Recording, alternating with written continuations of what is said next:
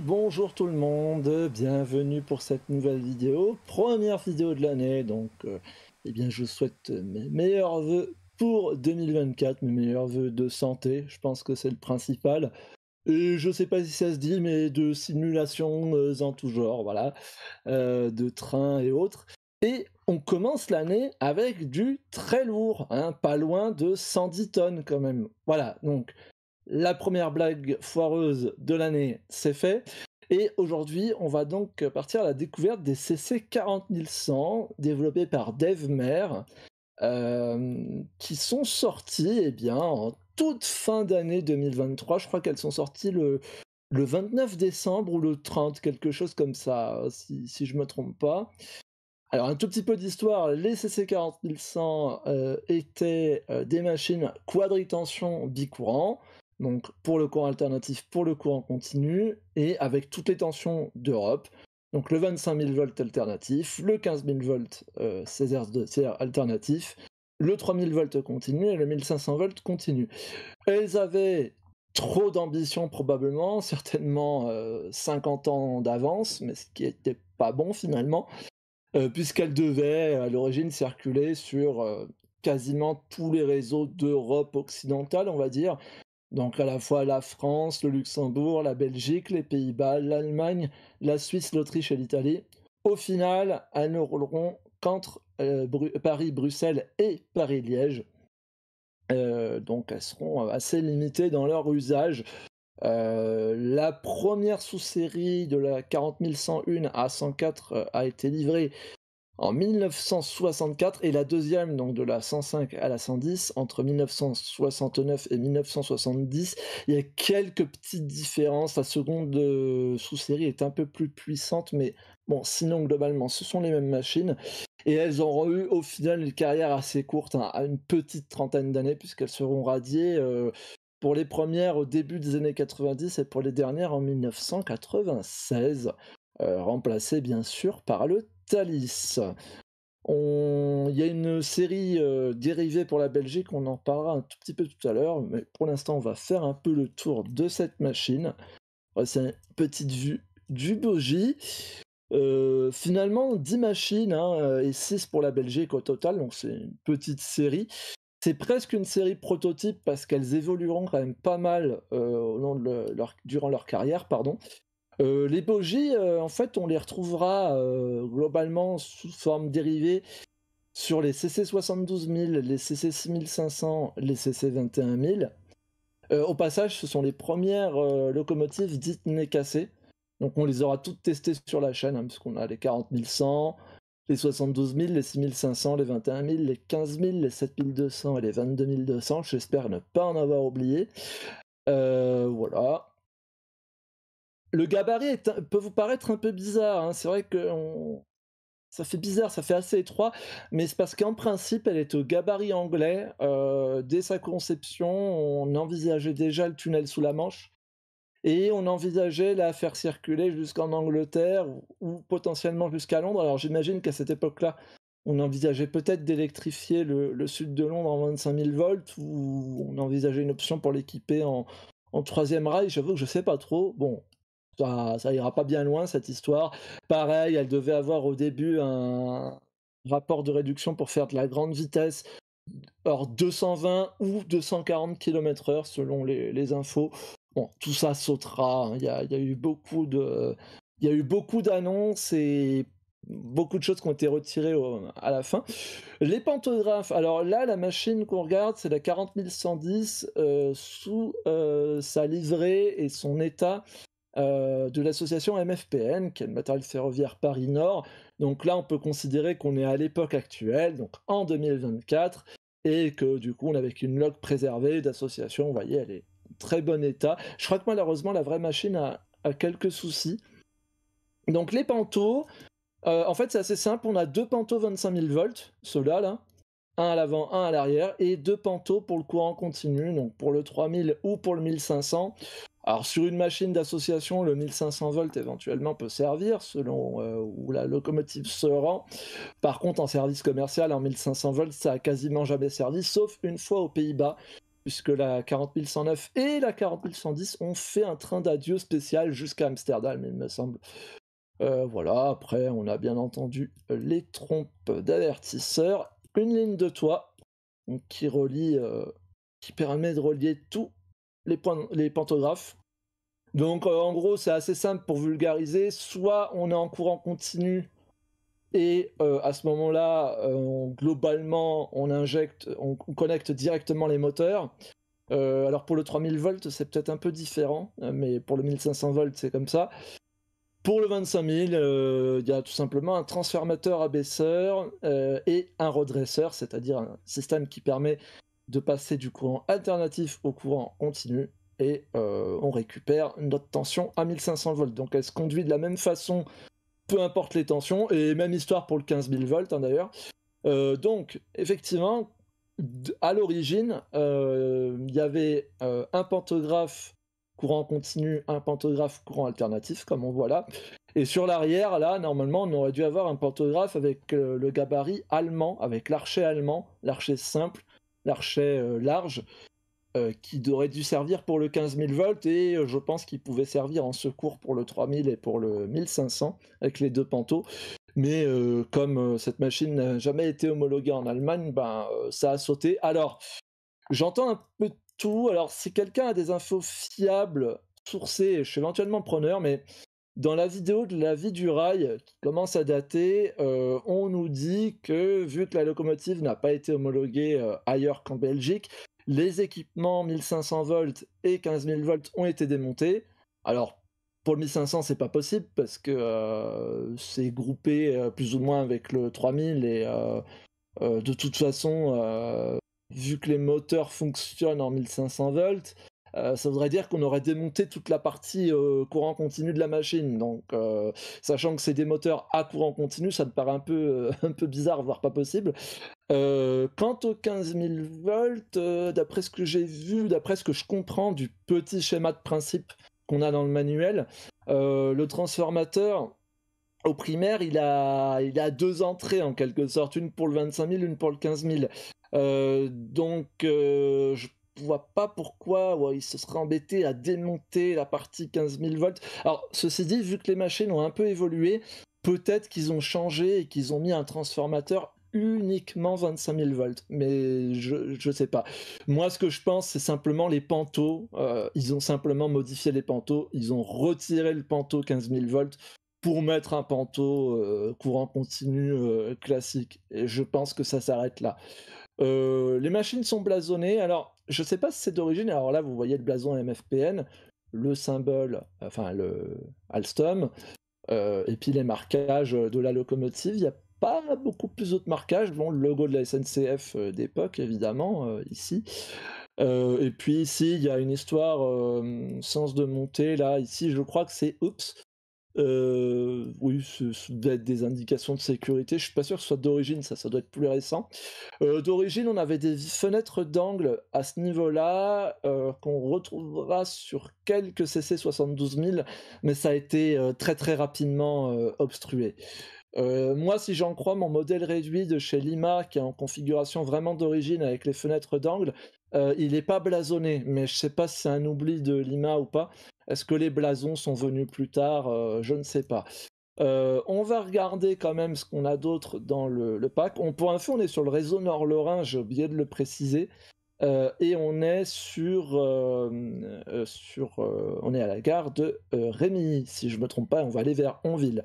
Donc là, vous avez les logs qu'on peut avoir. Donc on a toutes les, machines de la 40101 à 110 dans leur aspect années 90. Vous voyez que par rapport à la version MFPN, euh, celles-ci, eh elles sont bien patinées, bien défraîchies. Hein, elles étaient en fin de carrière. Euh, rien d'autre ne change, hein. c'est simplement bah, l'aspect de la machine qui est évidemment plus usé. Et là, on récupère les euh, blasons historiques, donc Perpignan pour celle-là. Je ne peux pas toutes vous les montrer, mais globalement, ce sont, euh, toutes les mêmes machines. Elles sont peut-être pas usées de la même manière, mais voilà, globalement, ce sont les mêmes machines. bien sûr, chacune a son blason respectif. Elles sont toutes blasonnées, hein, toutes celles de la série. J'avance un petit peu. Je fais un petit travelling. Hop là, j'avance même un peu beaucoup. Euh, et ici, on a les cousines belges. Alors, bon, c'était un reskin, ça ne vient pas avec le pack, ça c'est le reskin d'Elena, dispo sur AW Central. Ce sont des machines, on peut pas dire qu'elles sont identiques, parce qu'il y a quelques différences quand même, Déjà, les feux, normalement, sur la vraie version belge, les feux rouges sont pas décalés et ça forme un bloc horizontal. Elles sont un tout petit peu plus récentes, hein, les versions belges 1970-1973.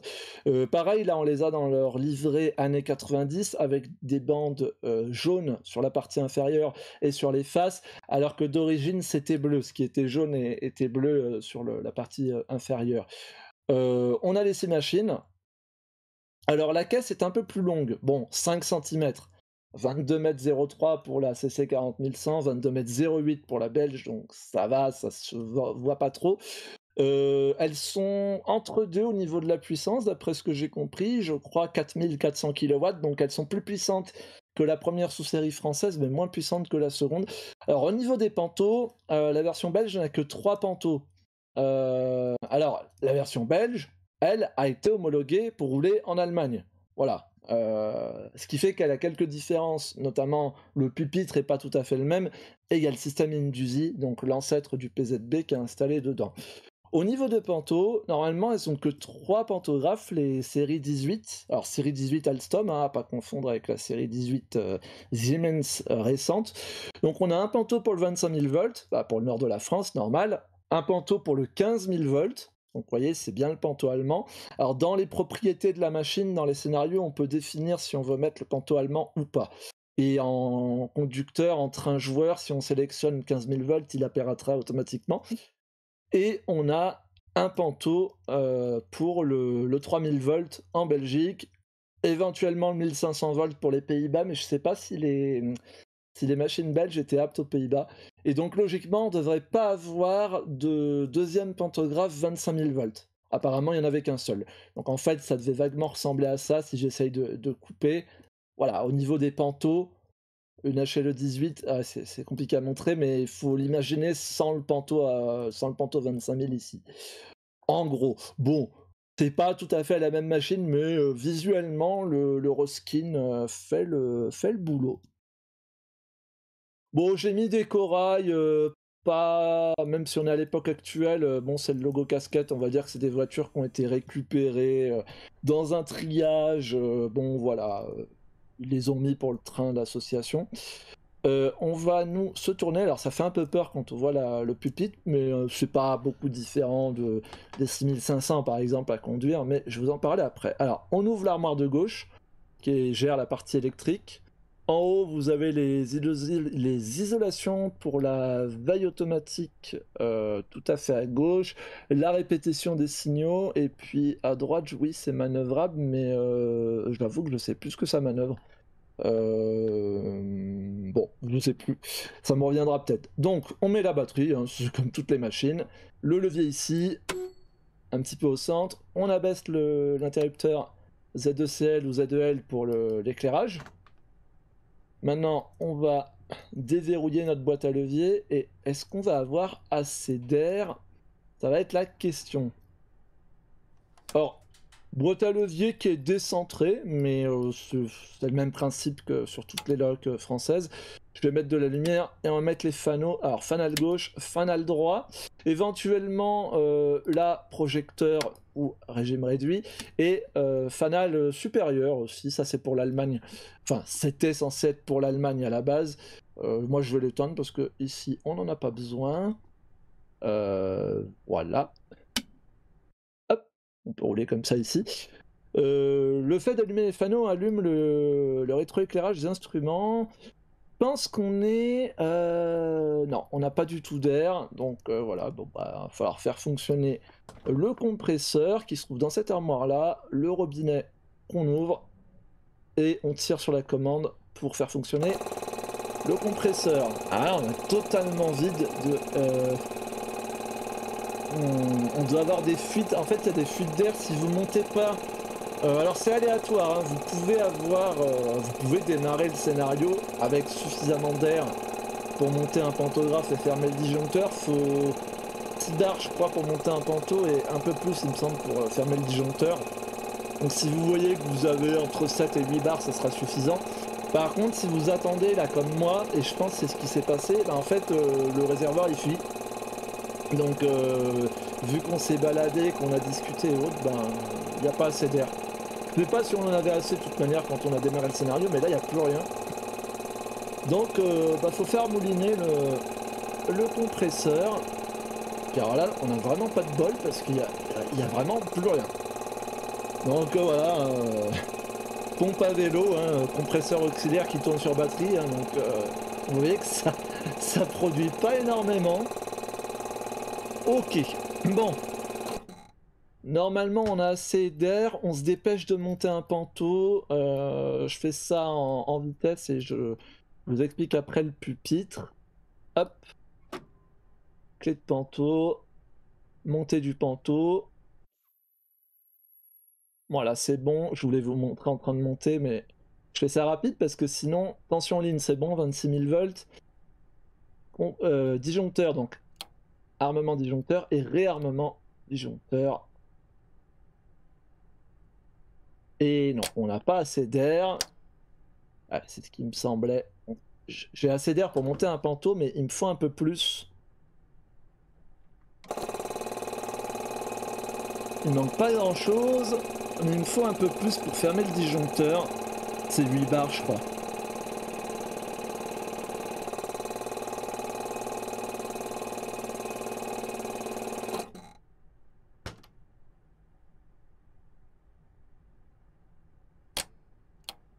Mince, je savais pas.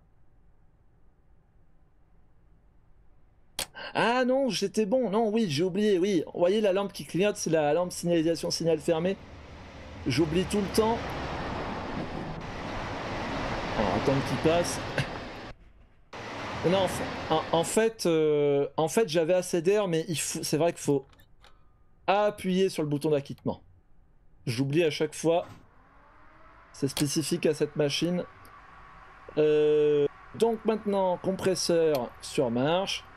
Marche forcée des ventilateurs. Donc de gauche à droite, euh, interrupteur disjoncteur, réarmement disjoncteur, compresseur auto, compresseur direct, marche forcée des ventilateurs, euh, ligne de train, vitre chauffante je pense ça, et tout à droite c'est le four.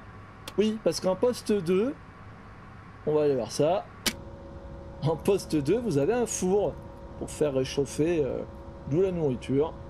Il est ici et il est fonctionnel. Et il y a une assiette dedans qui doit dater de la livraison de la machine, c'est-à-dire 1970. bon, j'arrête mes bêtises. Bon, euh, on va mettre notre clé de frein. Je vais vous mettre la vue qui est un peu au-dessus, ce sera plus simple. Donc la clé de frein, on peut soit cliquer, mais moi je préfère utiliser le raccourci clavier. Et ensuite on l'engage sur la position euh, intermédiaire comme ça. Et on a la conduite générale qui doit remonter à 3 barres. Ça c'est bon. Donc maintenant, on peut utiliser le bouton grand débit ou le manipulateur de frein, euh, de frein de train, euh, train automatique qui est juste là. Nous, bah, on va utiliser le levier de frein, comme ça vous le verrez bouger. On réalimente, on est immobilisé au frein à main. Voilà. On va tester le frein automatique, donc euh, des pressions de 0,5 bar, on voit le, les cylindres de frein monter. Hein. là voilà, là je suis un peu plus de 3 bar 5 là quasiment. Voilà, on voit que le frein euh, automatique fonctionne. On peut immobiliser au frein direct. Ça permettra de le tester surtout. Voilà. À partir de là, on peut desserrer notre frein à main. Parfait. On peut armer, vu qu'on a avec des corails, le frein électro-pneumatique. Alors c'est le bouton qui est ici, là, euh, vraiment dans le coin. On bascule comme ça, on a un vidange de la conduite générale. Reste se vidanger et après, c'est soit le bouton gris, euh, là, réarmement euh, FEP, ou alors la touche entrée du pavé numérique. Oui, c'est un peu bizarre comme raccourci, mais c'est normal. Hop, et on peut réalimenter par le bouton grand débit par exemple. Voilà, on est toujours immobilisé au frein direct naturellement. Euh, donc à gauche, alors tout à gauche, je crois qu'on a un voltmètre batterie. Euh, ici, conduite générale, réservoir principal, cylindre de frein de la locomotive. Euh, voltmètre à gauche, alternatif à droite, continu. Indicateur JH1 pour l'écran, c'est pour les différents couplages, série ou parallèle. lampe, la lampe du haut, c'est la lampe de signalisation disjoncteur LSDJ. Lampe du bas, lampe de signalisation de patinage à l'espace. Et Ici, l'indicateur JH2, je crois qu'il sert en courant continu pour l'écran de chantage, mais euh, je dis peut-être des bêtises, il n'y a pas grand-chose dans le mode d'emploi. Les ampèremètres moteurs, un par moteur, les quatre lampes euh, LSPH pompe à huile, de part et d'autre les commandes pour les feux rouges. Euh, puis après c'est à peu près tout, hein. radio sol train, boîte à levier, inverseur là-bas qu'on va placer sur la position avant, commande de chantage, panto, bouton d'acquittement, là-bas sifflet, et ici vous avez le sélecteur de tension. Alors je peux pas vous le montrer plus que ça parce qu'il faut la clé du pantographe, il faut enlever le panto et mettre la clé dessus, et il faut faire correspondre avec la position, euh, en gros il faut que la, valeur de la tension que vous voulez soit à midi, donc là on est sur CFL SNCF 25 000 volts, et après on a pour la DB, pour les CFF, pour les FS, euh, pour... Euh, pour le, le, CFL, enfin pour LSNCB, mais en 3000 volts, et pour les NS en 1500 volts. Bon là, je peux pas vous le montrer en fonctionnement parce que le, pantographe est, est, monté, donc je peux pas retirer la clé. On va faire l'essai de veille automatique.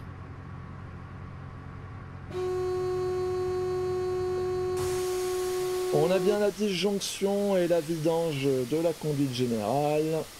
On réarme alors, on va pas faire le test du maintien d'appui parce que euh, j'ai pas le temps. Donc, on va considérer que l'essai est terminé et on va pouvoir y aller. Euh, donc, l'inverseur c'est bon. Là, on commence à passer notre cran, le serrage et on commence à tractionner.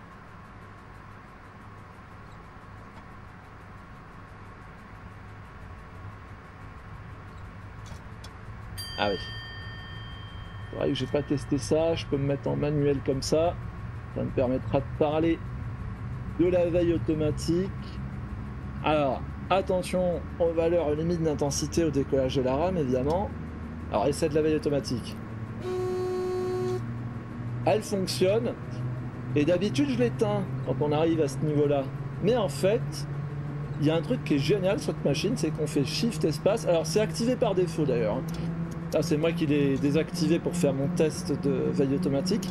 vous voyez, VACMA auto on, et en fait la, machine va gérer elle-même euh, les appuis. De temps en temps, vous aurez des alarmes de contrôle d'appui ou de relâchement.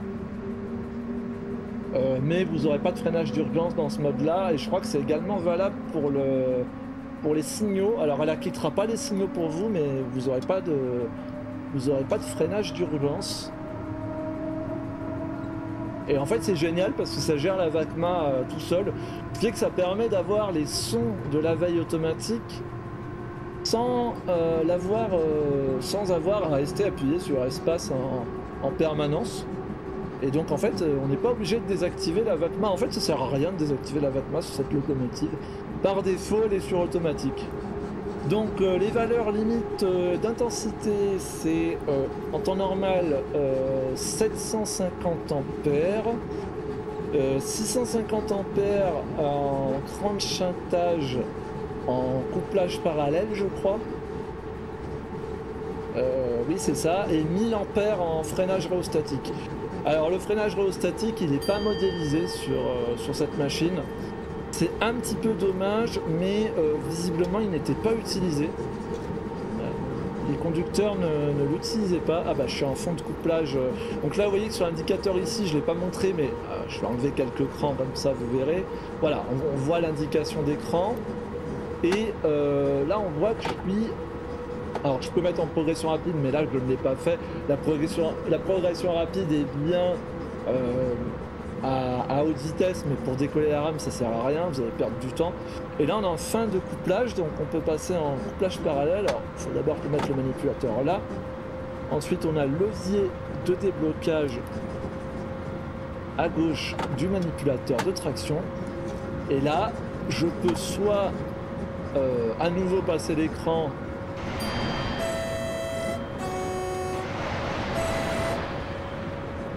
à nouveau passer l'écran euh, manuellement ou bien alors passer en progression rapide vu notre vitesse on va mettre la progression rapide Lorsque je suis en fin de couplage série ou parallèle, je peux également utiliser quatre crans de chantage pour chanter les inducteurs. Euh, je pense qu'on n'aura pas le temps de les montrer ici. Ou alors vraiment vite fait. Ah bah non, on n'est pas encore sur la fin du couplage. Si, ça y est. Mais euh, ça va être euh, ric-rac à monter, montrer si je peux vous en montrer. Je peux en passer quelques-uns.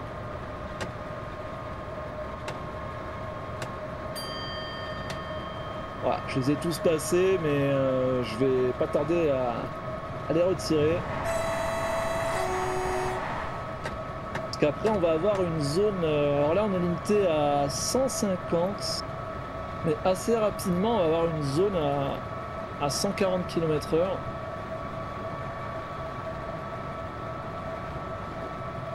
Donc on va remettre le manipulateur de traction à zéro.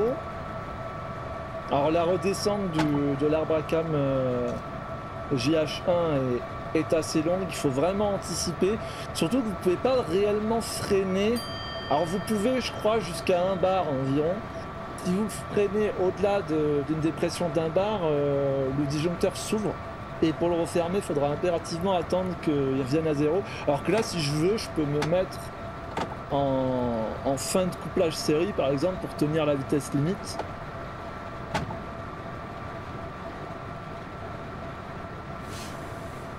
Là, on va commencer à freiner parce qu'il me semble qu'on arrive dans la zone à 140. On va pas trop freiner non plus.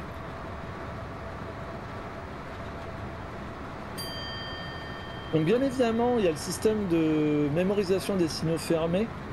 Euh, donc euh, le, crocodile, hein, la répétition des signaux optiques, la RSO, je crois qu'on appelle ça comme ça maintenant. Euh, qui répète, bah, comme les machines anglaises, hein, qui répète ouvert, qui répète signal ouvert, avec la petite cloche, et on a le klaxon euh, pour les signaux fermés, bien entendu.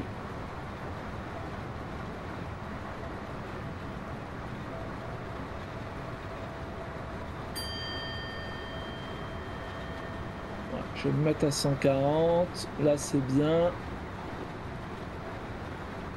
Voilà, parfait, on n'a pas trop eu besoin de freiner.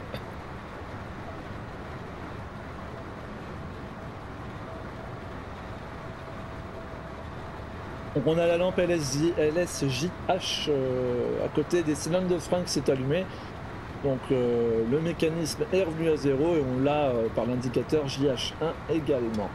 On va repasser en progression rapide sur le couplage série, on va se mettre en fin de couplage série. Alors c'est exactement comme la 6500, hein, il faut pas, ou la CC21000 en, courant continu, sous 1500 volts, il faut pas stagner sur l'écran. Euh, dans, l'idéal, il faut quand même les passer, euh, faut essayer de les passer le plus rapidement possible. Je suis en progression rapide là, oui. Alors vous verrez que sur la machine, vous avez des inscriptions en allemand, en, italien, puisque la machine à l'origine se voulait euh, pleinement interopérable euh, avec l'ensemble des administrations euh, des compagnies ferroviaires qui composaient le pool Trans-Europe Express. Bon, ça ne sera pas le cas, hein, mais nos amis belges hein, seront aptes sur cette machine-là, puisque à partir des années, de la fin des années 80, je crois 86, euh, les 40 000 seront conduites en, poule, aussi bien par des Français ou par des Belges. Euh, et pareil, les conducteurs français seront aptes sur la série 18, également sur les séries 15 pour les relations entre Paris euh, et Liège et Paris et Bruxelles. Il n'y avait pas de changement de conducteur.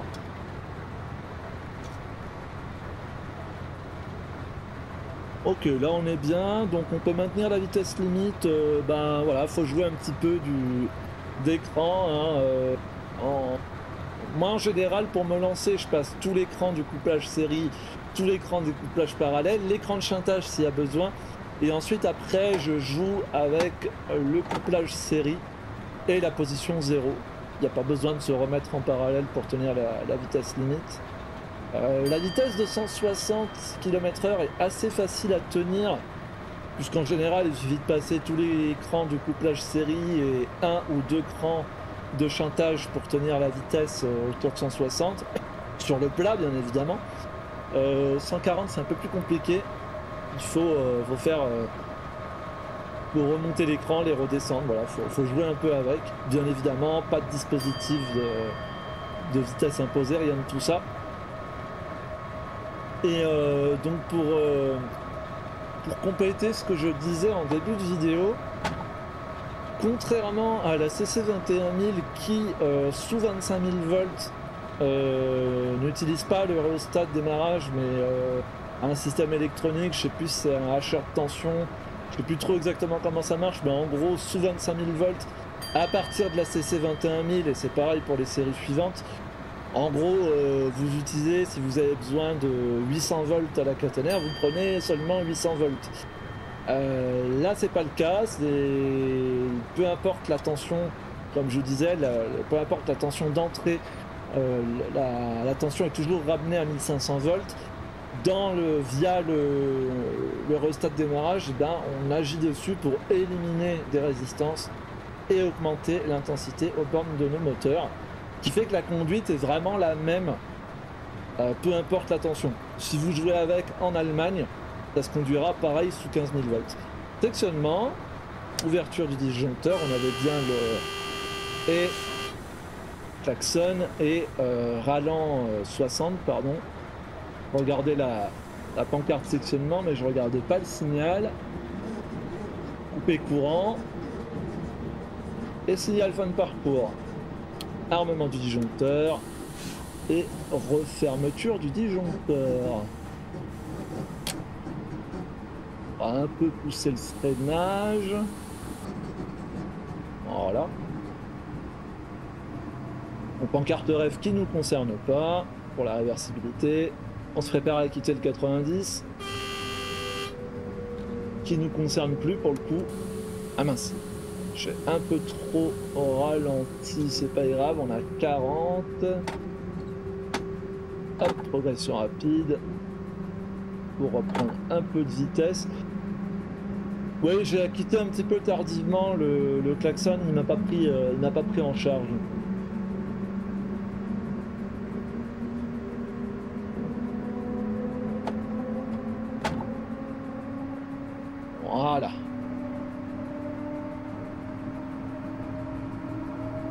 on est au-dessus de 60 maintenant, on a 70.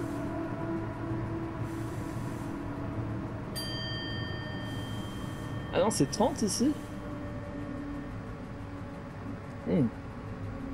Attendez, j'ai un doute maintenant.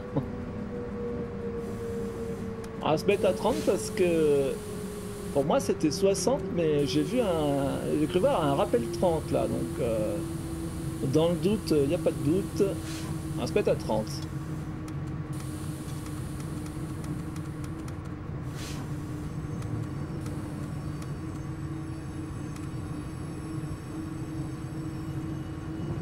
c'était bien 60, mais bon, voilà.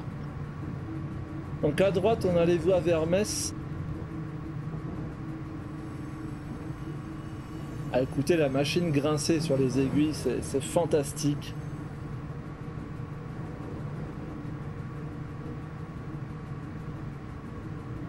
C'est vraiment très sympa. Ouais, on a l'exécution du 60 ici. Donc c'était bien 60 a priori. Sauf si... Ah, est-ce que celle-là était pas à 30 Non.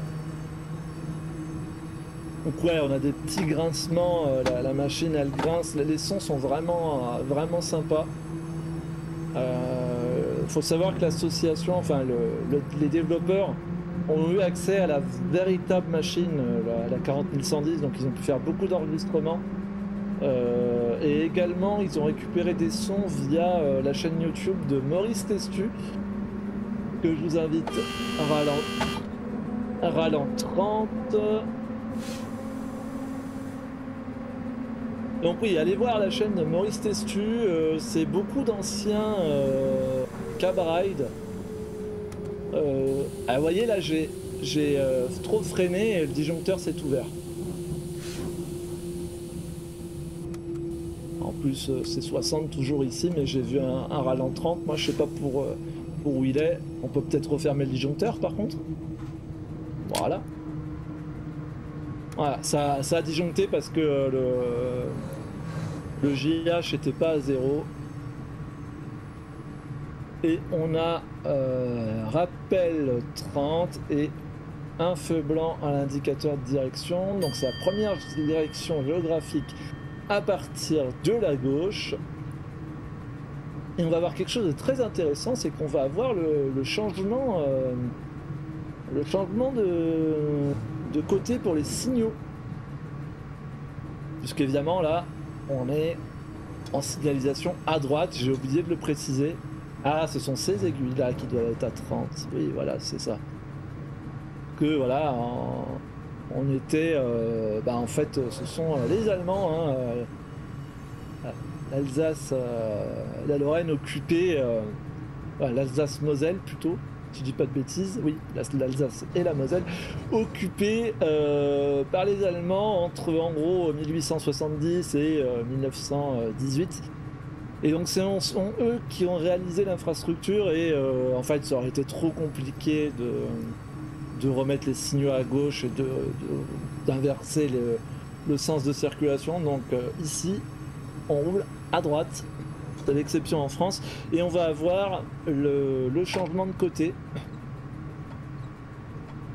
qui va pas tarder à intervenir et vous verrez une pancarte sur la droite, ce sera la dernière pancarte à droite qui nous concernera, et bien vous verrez une pancarte euh, signaux, euh, signalisation à gauche, je crois. Euh, Par contre, attention l'intensité max, surtout à basse vitesse. Et on a un TGV euh, Paris-Luxembourg, RAM réseau euh, 500. Alors, on, ouais, avec quelques petites difficultés de fluidité sur cette ligne par endroit. Oh, du côté de Metz, ça galère un petit peu. C'est aussi pour ça que j'ai pas voulu finir le scénario à Metz. On aurait eu un scénario un peu plus court, mais euh, par moment c'est vraiment compliqué. Même en supprimant euh, le matériel statique et tout, euh, ça a un peu galère. Donc là, le HUD nous dit qu'on autorisé à 125, je pense que c'est plutôt 120, mais bon.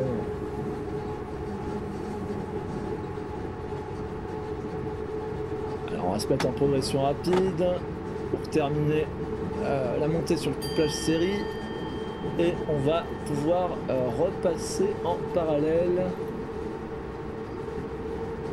Ouais, là c'est bon.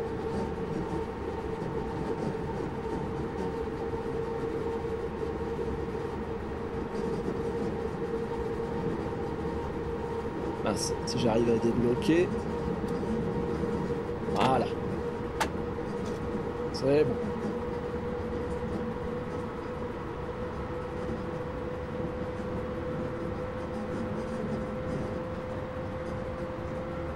Alors on va remettre à zéro. Voilà, parce que sinon on va dépasser la vitesse limite. Euh, ah, je crois qu'on l'a passé, le, la pancarte signaux euh, signalisation à gauche. Ou alors on va la passer. Non, il me semble qu'elle était avant. Je crois qu'on l'a passé, donc on va voir le premier signal à gauche, ici. Et on va emprunter le, petit saut de mouton euh, qui nous permet de rebasculer à gauche. Bon, on sera sur un- en réalité, on va être sur un groupe de voies, on, on sera pas complètement à gauche. Et voilà, là, on passe au-dessus des voies. Enfin, ah non, d'ailleurs, non, cette voie-là, d'ailleurs, elle passe. euh, Si, c'est ça. Comment elle passe celle-là? Oui, si, si, on passe bien au-dessus des voies. Voilà, si, si, c'est bien ça. Ça grince, ça secoue.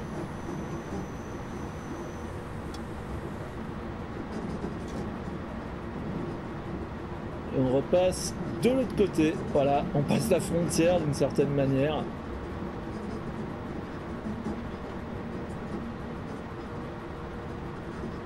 Et voilà.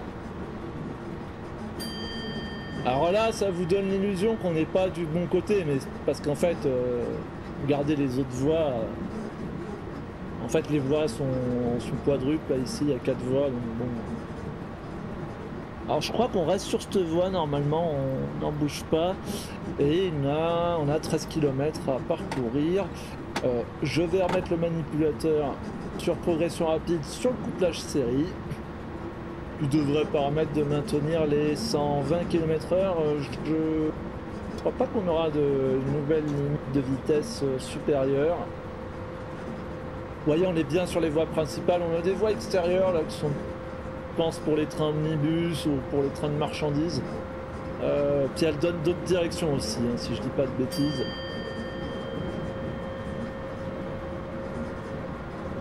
Je crois qu'après on s'en sépare. Voilà, petite montée, voilà, on retrouve notre 120 km/h, on redescend l'écran.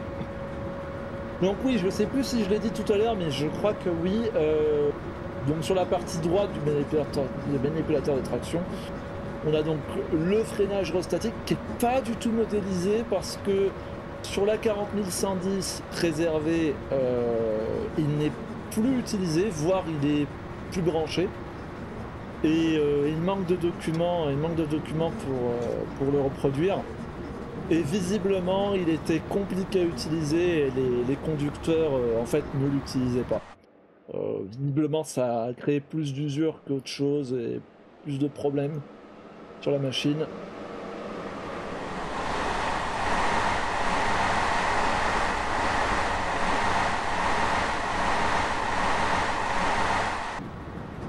Ah si, je crois qu'on peut rouler à 150 en fait. Ah non, non, non, non, c'est moi mal vu. Non, 120 c'est bien pour 125. Donc voilà, euh, frein réostatique euh, délicat à utiliser euh, et visiblement pas utilisé du tout, du moins en exploitation commerciale. Donc on utilise le frein pneumatique normal on va dire que ça progressera parce que sur la CC 6500 qui sortira quelques années après, euh, du moins de conception un tout petit peu plus récente, euh, le, frein rhéostatique est très puissant et assez apprécié notamment sur les lignes euh, avec pas mal de déclivité. Ici c'était pas le cas. Bon de toute façon la 40100 n'est pas réputée pour être une machine très très fiable en plus. Euh, vous voyez que dès qu'on a commencé à rouler là au centre du pare-brise, on a les pompes à huile, les lampes pompes à huile qui se sont éteintes, mais euh, de manière aléatoire, vous pouvez en avoir une qui reste allumée. C'est pas grave, faut continuer de rouler. De toute façon, une 40100, euh, tant qu'elle roule, elle roule, hein, même s'il y a des voyants qui s'allument. Faut continuer à rouler tant que ça tombe pas vraiment en panne. Hein. en, gros, c'est ce que j'ai cru comprendre. Hein. C'était pas super fiable. Euh, on se dit, enfin, il y a des échos comme quoi euh, il n'y a jamais eu les 10 machines françaises en même temps en circulation. Il y en avait toujours au dépôt de la chapelle. Elles ont toutes été basées au dépôt de la chapelle, pour la, petite histoire. Euh, ce qui doit en faire une des dernières grandes séries de locomotives. On compte pas tout ce qui est automoteur, mais ça doit être peut-être une des dernières grandes séries euh, euh, basées à la chapelle. Ah, 120. Bon bah 120 on y est, parfait. Et on a kit. Le dépôt de la chapelle qui aura vu tout type de locomotive, euh, de l'air vapeur avec la, la Stephenson, la 232 il me semble et euh, la 40100, euh, une des grandes dernières locomotives. Alors peut-être qu'il y a eu quelques petites séries quand même. Euh, il y a, peut-être eu les. Est-ce qu'elles étaient à la chapelle les, les 16 000 Je suis pas certain. Je pense qu'elles étaient au dépôt d'Acher. Bon, je dis peut-être des bêtises. Bon, en tout cas, ce qui est sûr, c'est que le dépôt d'Acher, aujourd'hui, il n'existe plus. Certaines voies existent, mais enfin, c'est plus un dépôt en tant que tel.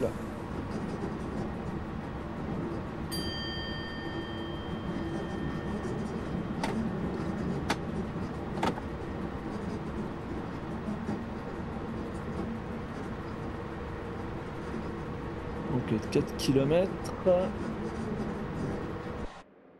Est-ce qu'on peut avoir une vue? Ah, j'arrive pas à avoir la vue euh, spotter. Puis voilà.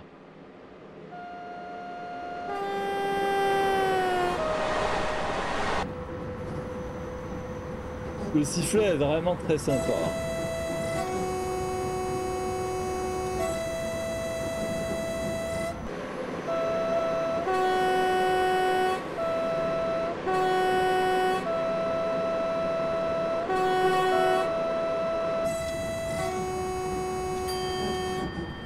Voilà, petit concert.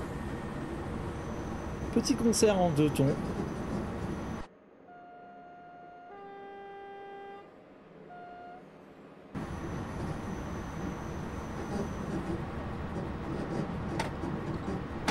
Alors j'ai dû un petit peu euh, baisser les sons pour qu'on puisse m'entendre. J'espère, normalement j'ai pas trop baissé.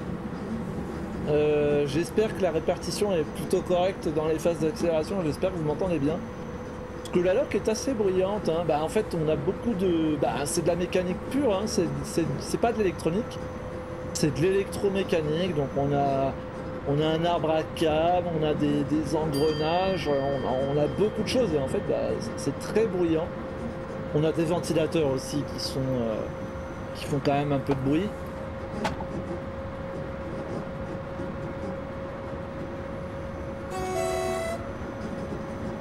Allez, on va s'arrêter.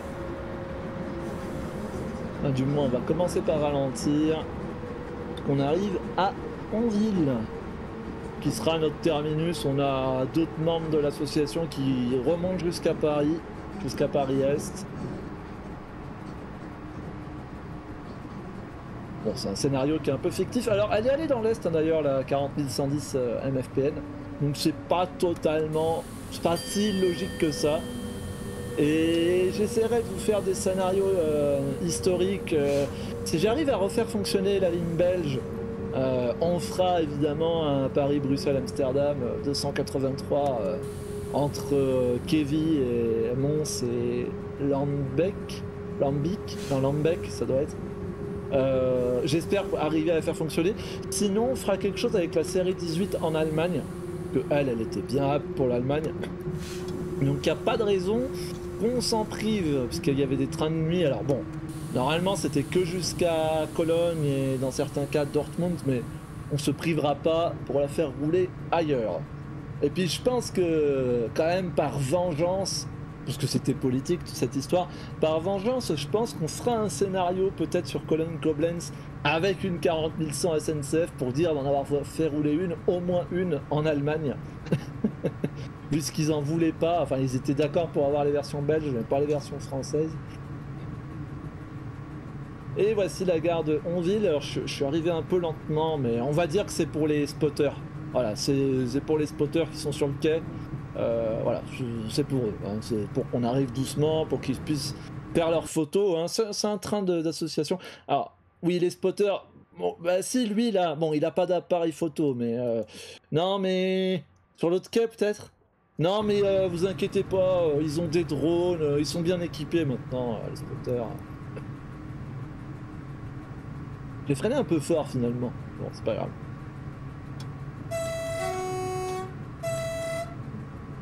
Ou le sifflet c'est pour les spotters. Enfin, là il y en a qu'un seul, là visiblement, mais on a qu'un seul et il nous prend même pas en photo. bah décidément. Allez, on va essayer de faire la. de gérer le, le freinage. Donc, on gère la modérabilité au desserrage. Normalement, on essaye de s'arrêter en même temps qu'on dessert pour éviter les à Alors, j'y arrive pas toujours. Mais dans l'idéal, il faut essayer de faire ça. Si on peut s'arrêter avant le signal, c'est mieux.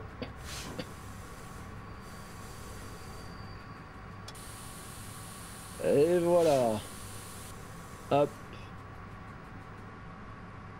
Et on peut sortir. Évidemment, les portes s'ouvrent. Ah, ça fait plus de bruit dehors. Hein.